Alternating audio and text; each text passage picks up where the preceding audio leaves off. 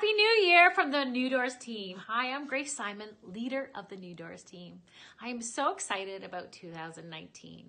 Not only is our team growing, uh, but we are just so excited about serving and meeting new people this year. Whether you're buying or selling your home or just thinking about uh, a move in some capacity, we would love to speak to you. Ralph Waldo Emerson said, be an opener of doors. And that's exactly what we are. You see, New Doors team is passionate about people and about our community.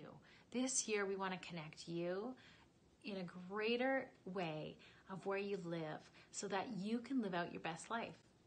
So if you're thinking about buying or selling your home, looking for a new adventure, wanting some creativity, and wanting the absolute best service and people that you can trust and call friends, you want the New Doors team.